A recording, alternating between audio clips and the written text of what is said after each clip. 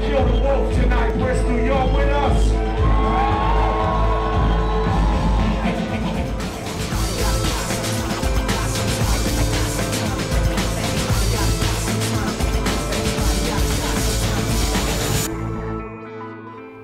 So drop out of school and be a rapper. That's uh, the title of my talk. Thanks. nah, man, but you know, I, I think the most important skill that like a school can give you is is to to, te- to teach you how to pursue your own interests and your own passions. Like if you come out of school just knowing how to like take a test, like get all the information for a test in your brain for 24 hours, dump it onto a piece of paper, and get the grade, you haven't really developed that much of a skill. Your life is a finite amount of time, and then like at some point the light is just gonna like turn off, you know.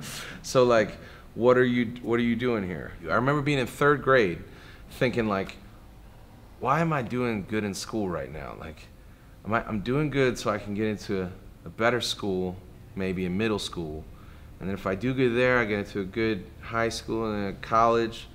And if I get to college, I get a good job. And I just do that till I die. you know, like I remember being in third grade, like mapping it out, like, why am I doing this right now?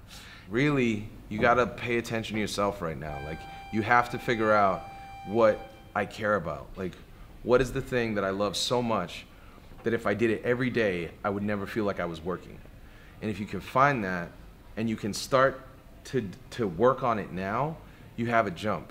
Uh, you have a jump on what's coming. The problem you're solving is that like you don't have millions of dollars to sink into a marketing campaign to just like unlock all the doors for you. So what you need to do is you need to figure out like who you need to talk to here in order to get this in their hand to get that thing over here. And if you you know get this radio appearance this other guy might hear about it because he's a tastemaker you know it's all it's very it's complicated in, in uh, the music industry. The internet and music and how people listen to music all that is really in constant shift and has been my whole career. Um, so it is it's just like this puzzle all the time of just like all right what do, what do we have to do now to get you know like the the end goal is always the same just like reach our fans with our music. Being creative and doing this stuff is is fraught with rejection. Like if you can't handle rejection you shouldn't even do this because like everything i do is rejection. Like uh, from standing on stage in front of uh, you know 200 people and seeing that pocket of people that is not into it and that is like just got their back turned to you like eh, he's alright. and like so rejection either is gonna like harden you and make you go like yeah all right like eh, you know like i'm gonna come back harder next time or you know sometimes rejection just means like well maybe i'm trying something that i'm not meant to be doing. And like yeah maybe you're right. Maybe i should you know in my case it wasn't i knew it wasn't that. So it was the like okay all right now reject or reject this reject this. So i, I mean i guess that's that's like my advice. Yeah. Are any of you guys trying to come to the show tonight?